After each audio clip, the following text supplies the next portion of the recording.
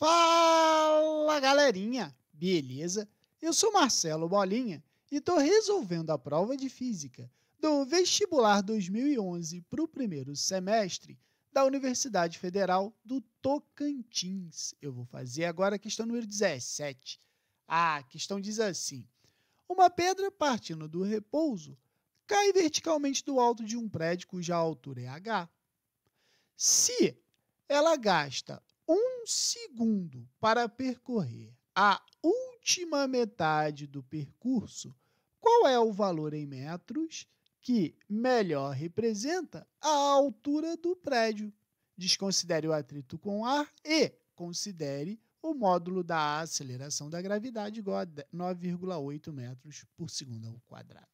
Bom, é um probleminha de queda livre, né, cara? Então eu vou usar a queda livre. O que vai me caracterizar uma queda livre? Ele falou uma pedra partindo do repouso, ela foi abandonada. Se ela foi abandonada, a sua velocidade inicial é zero. Beleza? Então eu posso dizer que, já que é um movimento aonde o corpo está sofrendo a aceleração da gravidade, a gente diz que é um movimento uniformemente variado. E eu vou usar a função horária dos espaços para o movimento uniformemente variado, que é o S igual a S0 mais V0t mais 1 meio de AT ao quadrado, o famoso sorvetão. O meu S0 eu chamo de zero, o V0 é zero porque ela foi abandonada. Então, S é igual a 1 meio de AT ao quadrado. Então, eu tenho aqui a função horária dos espaços para queda livre do corpo, beleza? Então, uh, o que, que a gente pode escrever?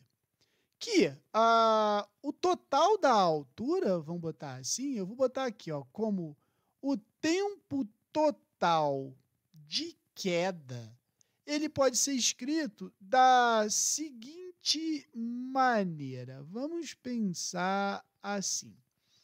Uh, H, que é a altura inteira do prédio, é igual a 1 meio né, vezes AT ao quadrado. Então, isso aqui é, é a minha função para o tempo total. No lugar do A, eu vou deixar o G de uma vez para você ver que aqui é a aceleração da gravidade. Beleza? Agora pensa comigo o seguinte. Na metade da queda, né, o que, que significa isso? Quando a altura foi a metade, o corpo gastou um tempo igual ao tempo total menos um segundo porque foi o que ele levou para chegar à altura, né? É, para ele chegar ao solo. O próprio problema falou que ele gasta um segundo para percorrer a última metade do percurso. Então eu posso dizer que vai ficar assim, ó. H sobre 2 é igual a 1 meio de G T menos 1 ao quadrado. Esse é o tempo. Beleza? Então a gente pode já é, organizar isso aqui e fazer essa simplificação, aonde eu sei que o H vai ser G que multiplica T menos 1 ao quadrado. Beleza? Bom, agora é, note o seguinte, o prédio ele tem a mesma altura para as duas situações. Então eu posso dizer que esse H vai ser igual a esse H.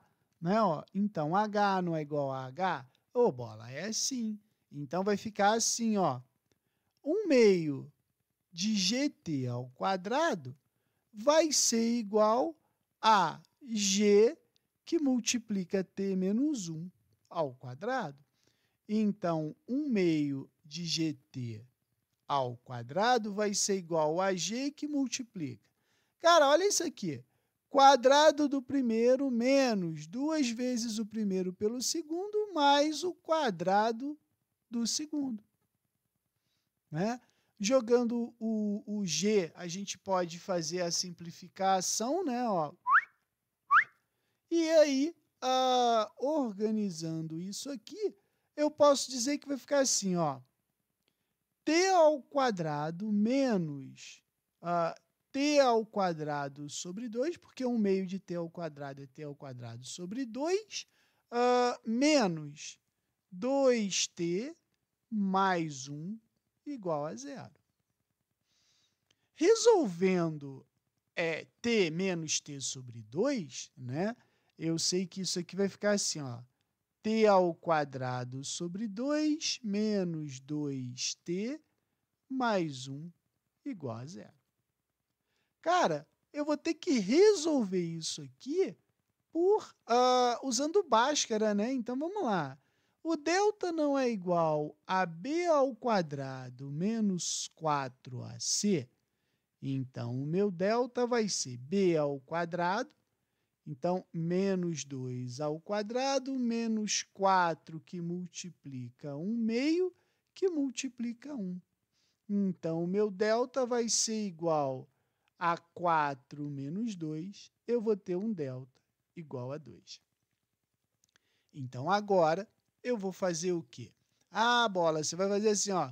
x é igual a menos b mais ou menos raiz de delta sobre 2a.